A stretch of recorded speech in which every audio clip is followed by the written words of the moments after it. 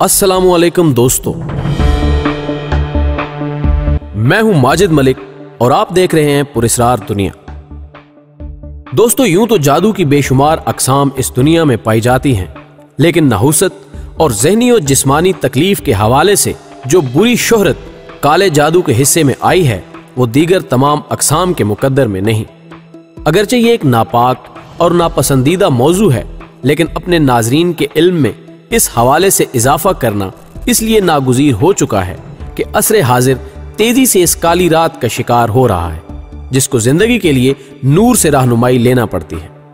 آج ہم اپنے ناظرین کے سامنے اس بدنام زمانہ کالے جادو کی چند ایک علامات کا ذکر کریں گے، جن کو پرکھنے کے بعد مرض کی تشخیص میں آسانی ممکن ہو سکتی ہے۔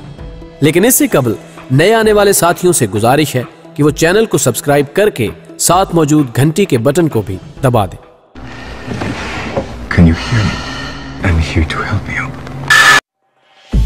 محترم خواتین و حضرات ایسا کوئی بدقسمت شخص جو کسی منحوس جادوگر کی بدولت اس کالے علم کا شکار ہو تو ابتدا میں آپ محسوس کریں گے کہ وہ دوران نیند ڈراؤنے خوابوں کی بدولت نصف رات کے وقت اٹھ کر بیٹھ جائے گا اور خوف کے باعث آسابی تناؤ کا شکار ہونا شروع ہو جائے گا۔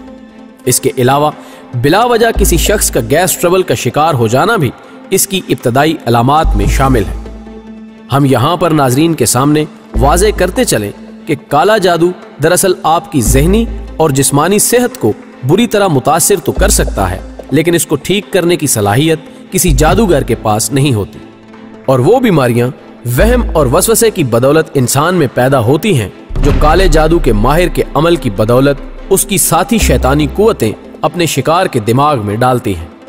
کسی انجانے اور اندیکھے وجود کے احساس کو اس کی دوسری علامت کہا جاتا ہے۔ اس کا شکار کئی دفعہ محسوس کرتا ہے کہ کسی چیز نے اسے ٹچ کیا، حالانکہ وہ دکھائی نہیں دیتی۔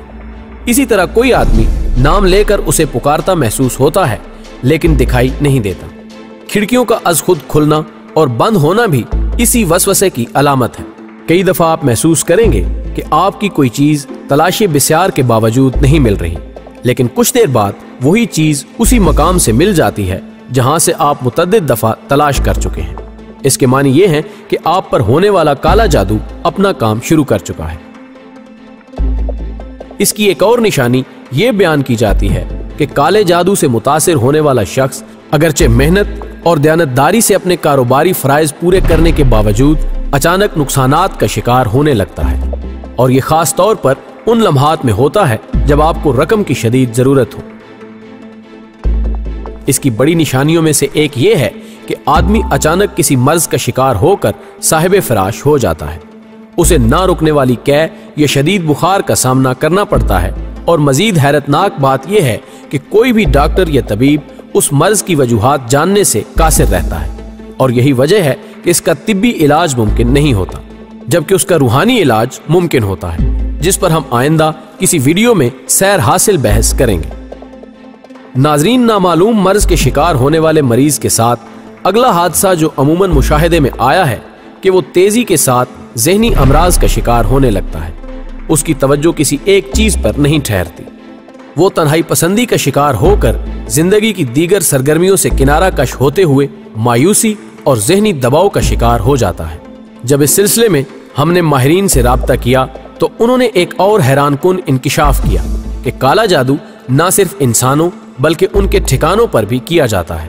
اور جب کسی گھر پر اس جادو کے اثرات ہوں تو نہ صرف اس گھر کے پودے اور پالتو جانور تک بیماری کا شکار ہو جاتے ہیں، بلکہ اس گھر میں داخل ہونے والے کسی عام شخص کو بھی واضح طور پر ایک بوجھل اور افسردہ ماحول کا احساس ہوتا ہے۔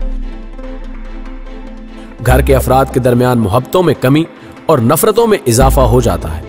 جو کہ گھریلو زندگی میں تناؤ کا سبب بنتا ہے۔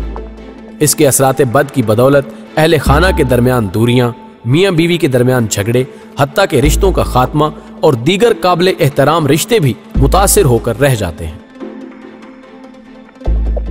معزز خواتین و حضرات، متعدد ماہرین روحانیات کی آراء کے مطابق کالا جادو محض ایک وسوسہ اور وہم ہے، جو انسانی دماغ پر سوار ہو کر اس کو اس کے صحت مند مشاغل سے بیگانہ کر کے بیماری کا شکار کر دیتا ہے۔